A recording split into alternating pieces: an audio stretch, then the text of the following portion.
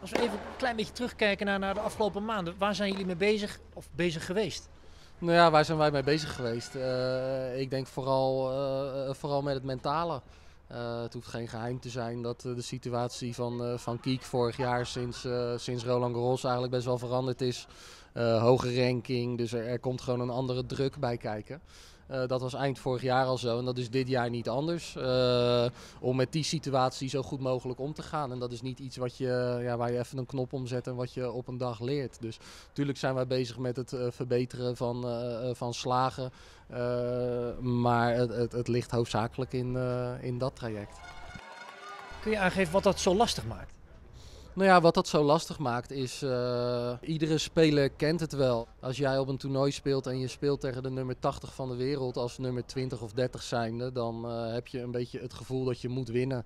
Je hoort heel vaak mensen zeggen, zelfs op de clubkampioenschappen van TC Schiebroek, dat als je als zeventje tegen een vijfje moet, oh dan kan je lekker vrij uitspelen.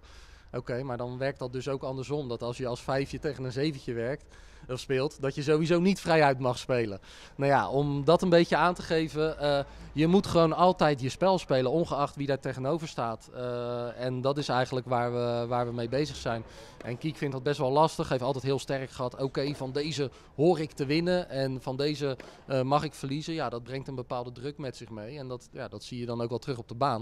En dan kan je je voorstellen dat als je in plaats van 100, als je 20 staat, ja, dan heb je ineens het gevoel dat je van de nummer 40 uh, z'n 2, z'n 3 hoort te winnen iedere keer. Ja, zo, uh, zo werkt dit spelletje niet.